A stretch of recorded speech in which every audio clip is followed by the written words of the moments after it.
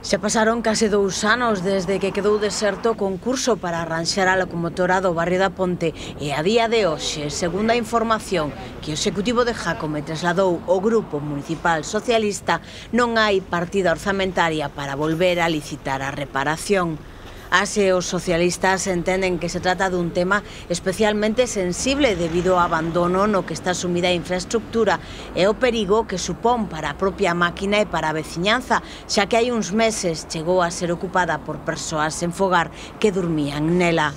As edis do PSDG no Concello de Ourense teñen preguntado insistentemente polo asunto en varias xuntas de área de urbanismo desde que comezou o ano para coñecer o estado da licitación, o importe definitivo e a modificación ou non do anterior proxecto aseguran que só recibiron respostas contraditorias por parte do Concelleiro da Carteira, Francisco Lorenzo. No mes de abril, o propio Edil afirmaba que a restauración sería plena, que quedaría como nova, que se estaban a estudar reaxustes no orzamento para levar a cabo a restauración e que se cubriría cunha especie de furna transparente, tal e como propuxo o Grupo Municipal Socialista, para evitar o deterioro ocasionado polas inclemencias meteorolóxicas. Ante a inoperancia do Executivo local, piden que se deixen de dar evasivas e que se saque adiante o proxecto de restauración dun símbolo que require con urxencia de mantemento para continuar en pé.